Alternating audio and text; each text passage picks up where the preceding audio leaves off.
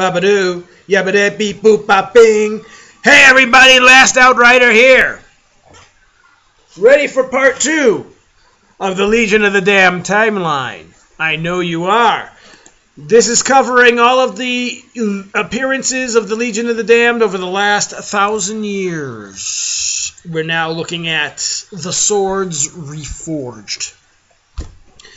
When Hive Fleet Moloch invades the weapon testing planet of Go- Godba, Godba, Godba, I'm going to say Godba, the Tyranids find that the planet has a vicious bite of its own.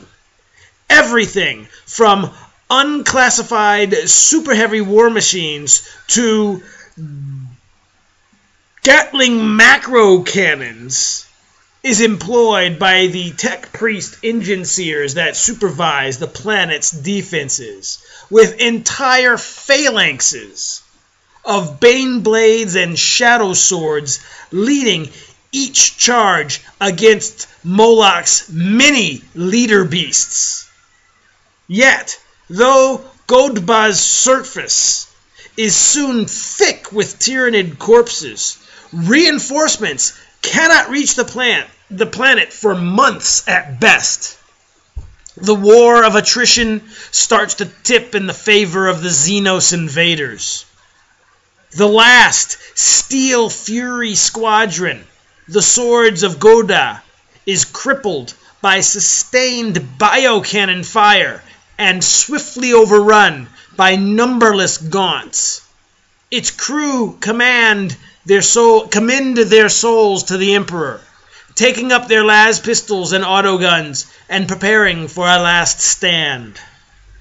Upon throwing open the hatches of their mobile fortresses, the crew of the swords are stunned to see squad after squad of black clad space marines forming a cordon around their tanks the relentless pounding of their bolters, and the billowing flames of their heli weapons blasting back the hormagaunts scuttling around them.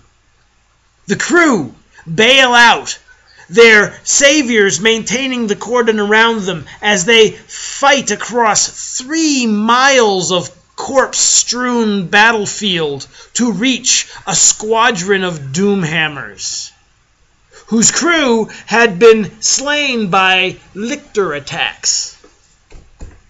With the chameleonic assassin beasts blasted apart by pinpoint volleys from their legionnaire escort, the crew of the swords quickly familiarize themselves with the weapon suits of the Doomhammers and rejoin the fight.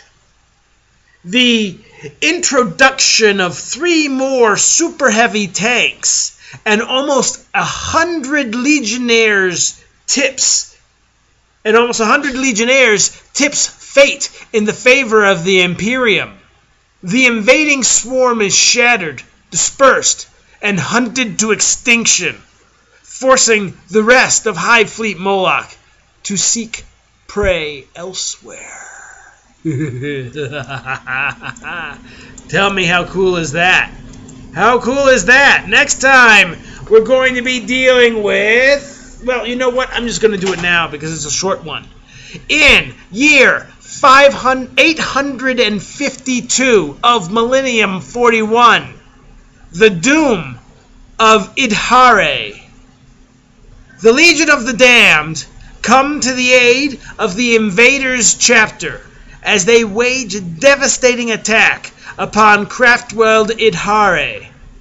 When their flaming bolts do little harm to the raging avatar at the heart of the battle, the Legion instead blows out the great dome under which they fight. They vanish once more as the Eldar defenders and the single surviving member of the invaders' force left fighting were there are blasted out into the void. Idhara is left as a ruined and desolate husk of a craft world. Dun dun da da da da da da da da da da Ta-da! Yes. Next time, then, we're going to deal with the great bastion of Andraxis, which occurs in the year 922 of the 41st millennium. See you then. Bye.